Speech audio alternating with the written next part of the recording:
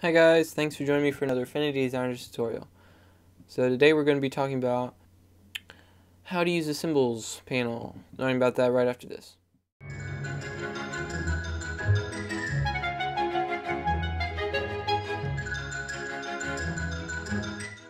Before we get started, I would like you to look in the description and there's a download file. You can click on the link and it will start downloading and then you can open it and it will be this file and then you can start working along with me. So what we have here is a bunch of octagons and they're all connected with symbols. So if I click on one here and move this around, there, as you can tell, um, moves each one around because it's connected with symbols. So I'm going to show you how to create something like this or with any of your designs. It doesn't really matter what type of shape it is or anything.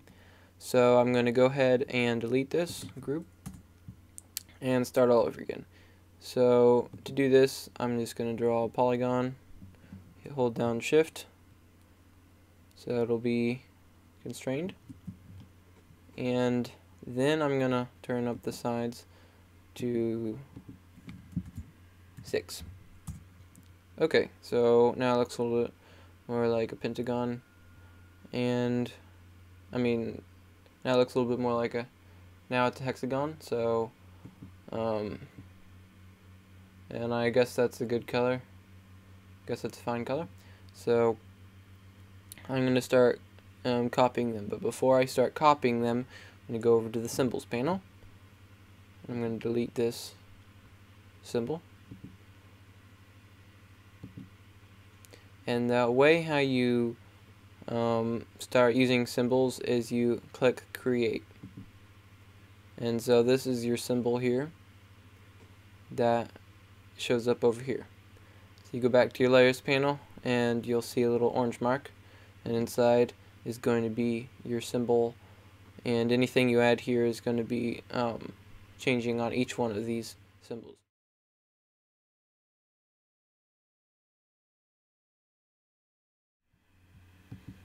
Okay, so now that I've got that all cropped, I'm going to go in here and here are all the layers.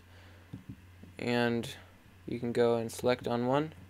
Each of the color in it is changed. So as in the uh, beginning one I had like little little highlights on here. So I'm gonna go ahead and do that and show you how to create highlights. So you click on one of these symbols and expand it. And then I'm going to go ahead and select it. And I'm going to go ahead and draw rectangle and it's going to go in this symbol group type thing. And then that means it will be drawn on each each of the other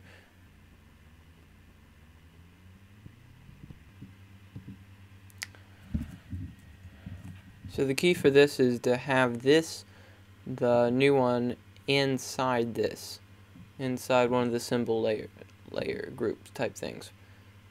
So as you can tell, whenever um, you come in the symbols and click create on layers panel, it creates um, a symbol group type thing, and then you can open it up and see what's inside. Okay, so there's also some other features in the symbols panel. Um, so you click on symbols panel and click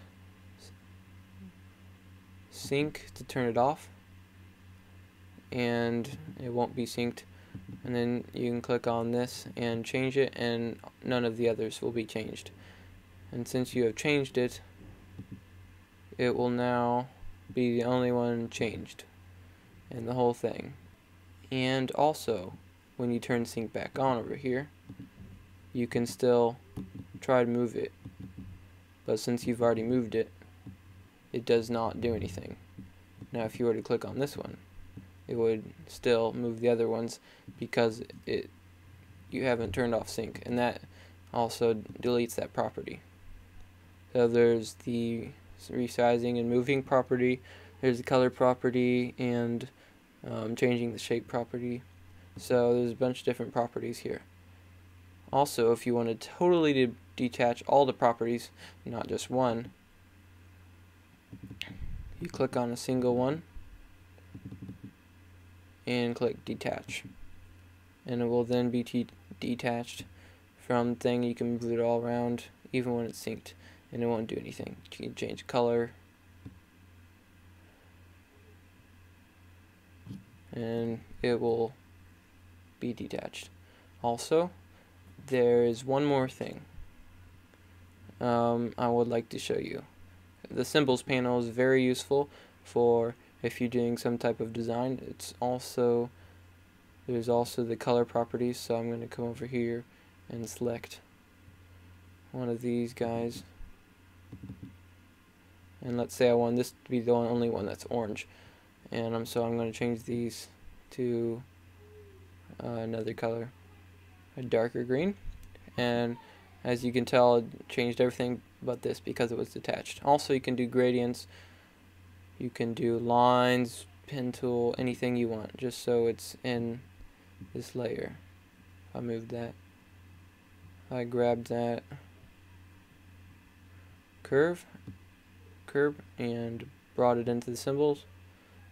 It and brought it into the symbol layer. Then each of them will have it.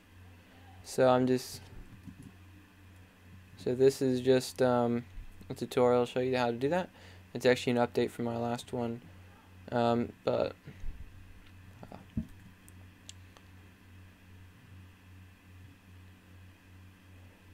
works with uh, paintbrush tool, works with any of these tools. Um, you can round the corners on these things. Uh,